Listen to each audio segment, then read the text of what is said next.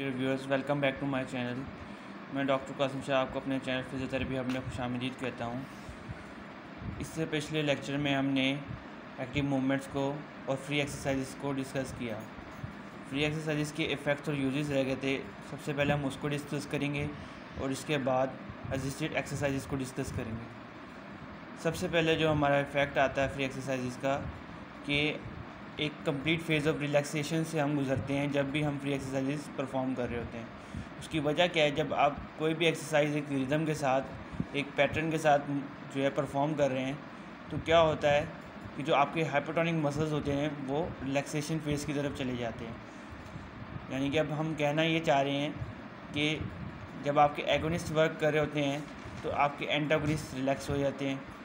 और एंड जब आप एक्सटेंड एक्सटेंसरी मूवमेंट्स कर रहे होते हैं तो आपका एगोनिस्ट जो है, वो रिलैक्स हो जाता है। तो ये जो कंट्रैक्शन रिलैक्सेशन के जो फेजेस आते हैं, इससे आपको एक कंप्लीट फ़ेज़ ऑफ़ रिलैक्सेशन मिलता है। बजाय लेकिन थोड़ी देर के लिए मिलता है, लेकिन जो, वो टाइम होता है ना, वो रिलैक्सेशन की जो फीलिंग होती है, वो आम रिलैक्सेशन से जो है, बेहतर होती है। तो इसका फ्री एक्सरसाइज का ये एक बहुत बड़ा रोल है कि आपको एक कंप्लीट फ़ेज़ ऑफ़ रिलैक्सेशन मिलता है। अब क्या होता है कि अब हम बात करेंगे, जैसे अभी मैंने कहा रेसिप्रोकल रिलैक्सेशन की बात की है अभी हमने, कि आप पहले कंट्रैक्शन हुई है आपके, फिर आपने मसल्स को एक फुली रिलैक्स कर दिया है। तो जो एक फुली रिलैक्स होने के बाद जो उसको रिलैक्सेशन महसूस होती है ना, वो जो है उसके लिए जो है ना एक, समझ लें अचीवमेंट है। अब मिसाल के तौर पे आपके जो स्केपुलर मसल्स हैं, उसके रिट्रैक्टर्स काम कर रहे हैं। और अब ज़ाहिर सी बात है रिट्रैक्टर्स स्केपुला के काम कर रहे हैं तो हमारे जो पेक मसल है उस पर जो है हमारे टेंशन क्रिएट होगी। लेकिन जो हमारे शोल्डर के एक्सटेंसर हैं, वो उसको एग्जिस्ट कर रहे हैं कि ताकि वो रिलैक्स रहें, वो ज़्यादा लोड ना उठाएँ।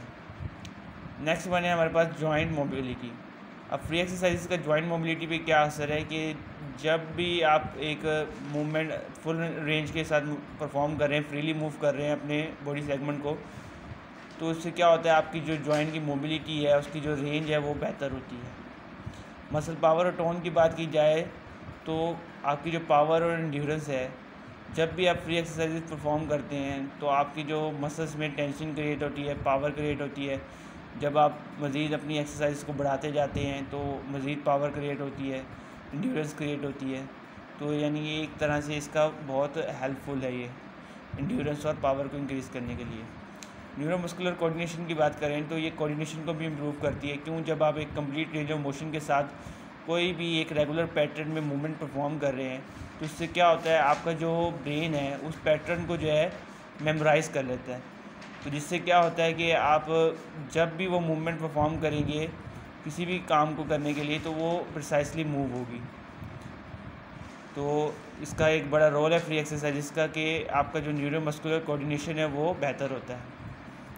कॉन्फिडेंस की बात करें तो इसमें क्या होता है कि जब भी आप एक मूवमेंट कोऑर्डिनेटली और एफिशिएंटली परफॉर्म कर रहे हैं तो इससे क्या होता है कि पेशेंट की जो कॉन्फिडेंस है, वो बढ़ता है कि वो अपनी एबिलिटीज़ को मज़ीद जो है इस्तेमाल करे और मज़ीद जो है उन एक्सरसाइज में इन्वॉल्व हो ताकि वो अपने जितनी भी उसकी रोज़मर्रा की ज़िंदगी की एक्टिविटीज़ हैं, उसमें जो है पूरे तरीके से जो है इन्वॉल्व हो सके।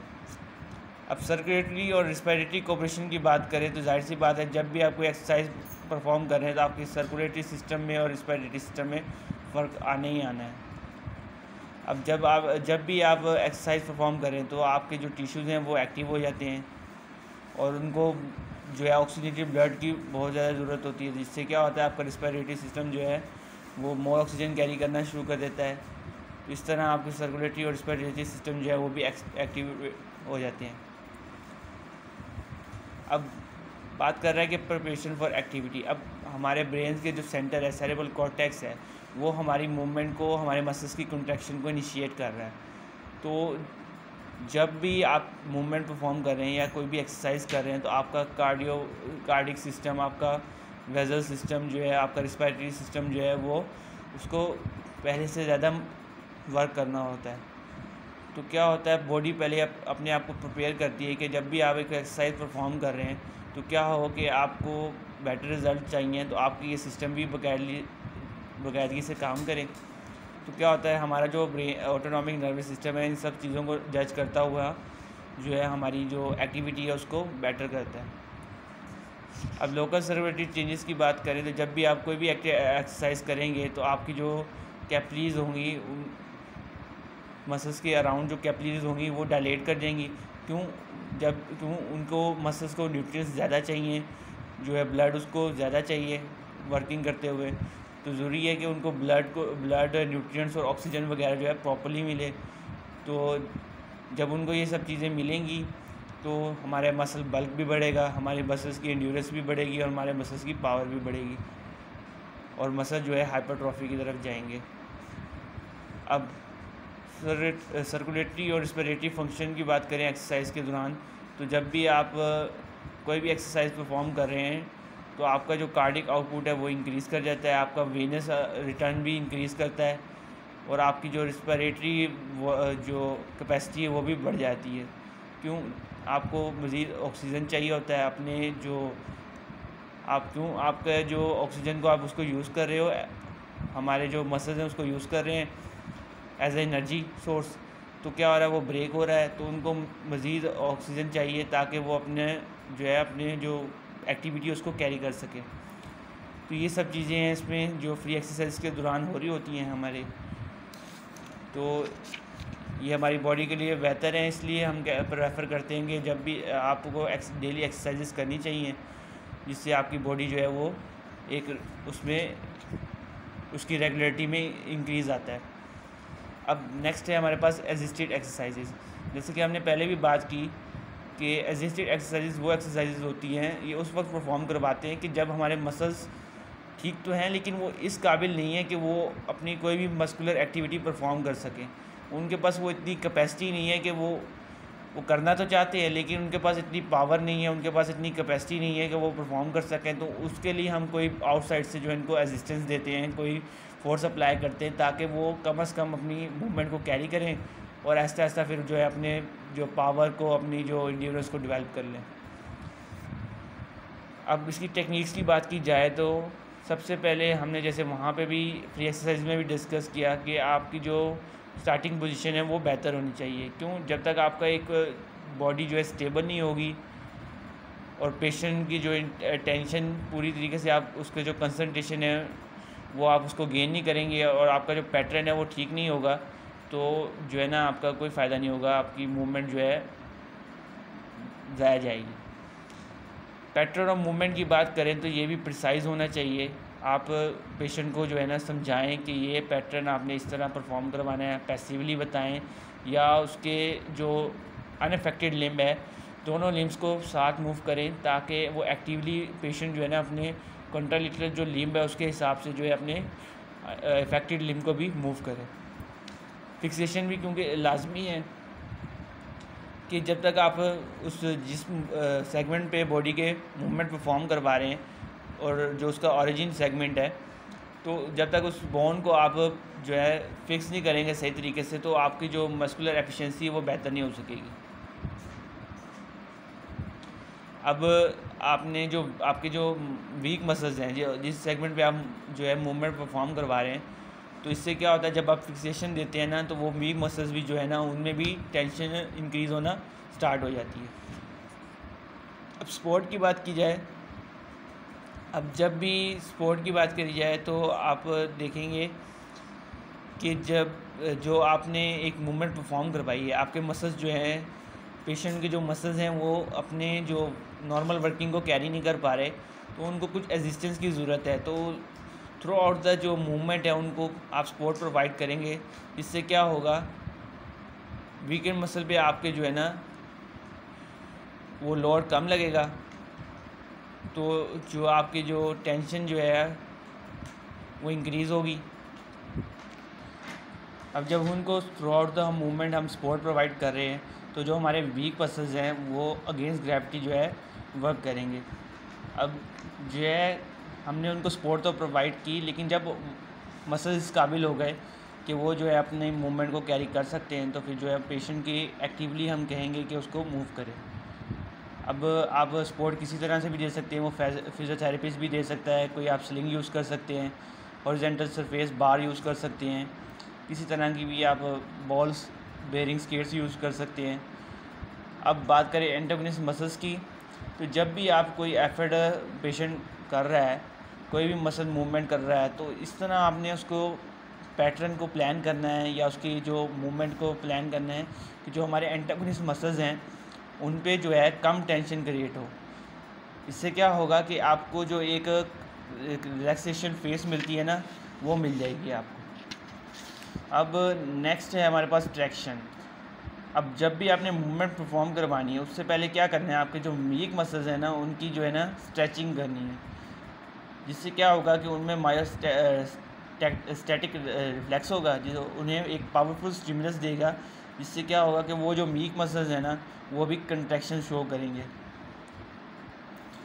अब रजिस्टिंग फोर्स की बात की जाए तो कि हमने रजिस्टेंस तो प्रोवाइड की, लेकिन किस तरह प्रोवाइड करनी है, और कब कितनी फोर्स ज़रूर ज़रूरी है, और क्यों ज़रूरी है?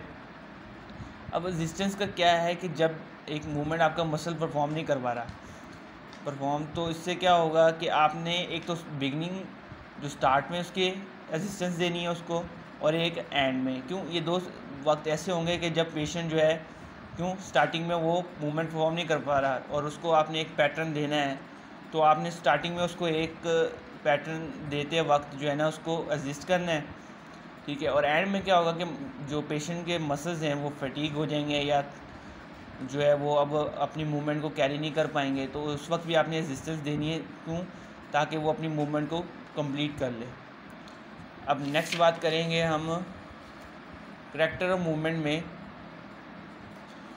अब करेक्टर की बात की जाए तो जो भी आप मूवमेंट परफॉर्म करवा रहे हैं, वो एक्यूरेट हो स्मूथ हो, और जब पेशेंट अपनी जो एक सेस पॉइंट पे पहुँच जाए कि जिस पे वो अब खुद वॉलेंटली मूवमेंट परफॉर्म कर सकता है तो आप उसके जो है रेजिस्टेंस को अब कम करें और उस पेशेंट पे डिपेंड रहें, उसकी कोऑपरेशन को पूरी तरह लें और जो स्पीड ऑफ़ मूवमेंट है, वो डिपेंड करती है कि मसल्स अपने ऑप्टिमम रेट ऑफ़ कंट्रैक्शन पे पहुँच चुके हैं कि नहीं तो आपने फिर जब पहले स्टार्टिंग में जब भी मूवमेंट परफॉर्म करवानी है, आपकी स्पीड जो है स्लो होनी चाहिए, ताकि जो आपके वीक मसल्स हैं, वो भी आपकी कंट्रैक्शन में, आपकी मूवमेंट में इन्वॉल्व हों।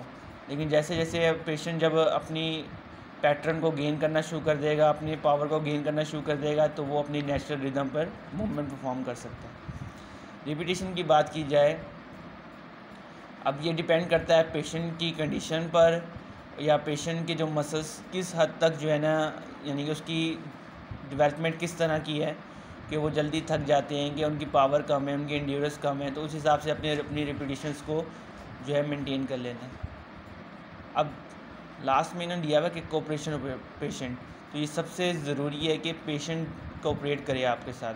आपने उसको हर महल्ले पे जो है ना उसको गाइड करना है कि आप क्या करने लगे हैं, क्या फ़ायदा है, क्यों कर रहे हैं, कैसे कर रहे हैं। तो जिससे आपने अपने पेशेंट की जो है ना इंटरेस्ट को गेन करना है। तो जब भी आपकी जो एफ़र्ट है वो सक्सेसफुल हो सकेगी।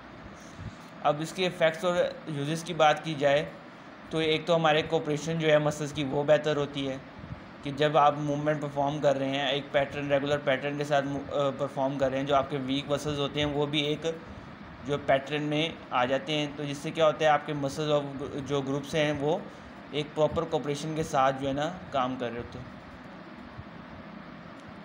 अब जैसे यहाँ पे एक बात लिखी है कि इस तरह की जो एक्सरसाइज हैं जो मस्कुलर री एजुकेशन में यूज़ होती हैं क्यों उन पेशेंट्स में जिनमें जो वो अपने रेगुलर पैटर्न्स को भूल चुके होते हैं या उनका जो रेगुलर पैटर्न है वो डिस्टर्ब हो जाता है किसी भी वजह से कि ब्रेन में कोई उनके प्रॉब्लम है या उनकी जो स्पाइंस में कोई प्रॉब्लम है तो इस हिसाब से। तो ए, और दूसरा पॉइंट क्या है कि इसका जब आप एक रेगुलर पैटर्न के साथ मूवमेंट परफॉर्म कर तो आपकी जो कोऑर्डिनेशन है वो बेहतर होती है। क्यों? जब भी आप पैटर्न को रिपीट कर रहे हैं बार बार तो इससे क्या हो रहा है, वो पैटर्न आपका मेमोराइज हो जाता है, जिससे आपकी जो मूवमेंट है, वो जो बेहतर होती है। अब नेक्स्ट वन है हमारे पास कॉन्फिडेंस जब एक पेशेंट आपका मूवमेंट परफॉर्म कर रहा है और कंप्लीट रेंज ऑफ़ मोशन में मूवमेंट परफॉर्म कर रहा है, आपने उसको कुछ एसिस्टेंस दी, उसके बाद ऐसे, ऐसा अपने पावर गेन की अपनी, और तो उससे क्या होता है पेशेंट के अंदर कॉन्फिडेंस आता है और वो अपनी मूवमेंट को और अपने सेशंस को जो है जारी रखता है। और फिर जब वो ठीक हो जाता है तो बहुत खुशी होती है उसको भी और एज अ फिजियोथेरेपिस्ट आपको भी खुशी होगी कि भाई आप जो है सक्सेसफुल हो चुके हैं। लास्ट वन है हमारे पास रेंज और अब रेंज भी बेहतर होती है क्यों? जब आप एक आपके मसल्स वीक हैं तो आप मूवमेंट परफॉर्म नहीं कर रहे। तो इससे क्या होगा? आपकी जो जॉइंट की रेंजेस हैं, वो भी एक लिमिटेड में आ लिमिट में आ जाएँगी। लेकिन जब आप जो है उसको ट्रीट कर रहे हैं पेशेंट को, उसकी जो मसल्स हैं, उनको वर्किंग में ला रहे हैं जॉइंट में मूवमेंट परफॉर्म करवा रहे हैं कंप्लीट रेंज ऑफ़ मूवमेंट करवा रहे हैं डिस्टेंस के साथ तो उससे क्या होगा रेंज भी आपकी बेहतर होगी। तो ये था हमारा आज का लेक्चर मज़ीद रजिस्टेड रजिस्टेड एक्सरसाइज को रजिस्टेड एक्सरसाइज को हम अपने नेक्स्ट लेक्चर में डिस्कस करेंगे। तो नेक्स्ट लेक्चर्स को देने के, देखने के लिए हमारे चैनल को सब्सक्राइब करें बेल आइकन के बटन को लाजमी दबाएँ। शुक्रिया।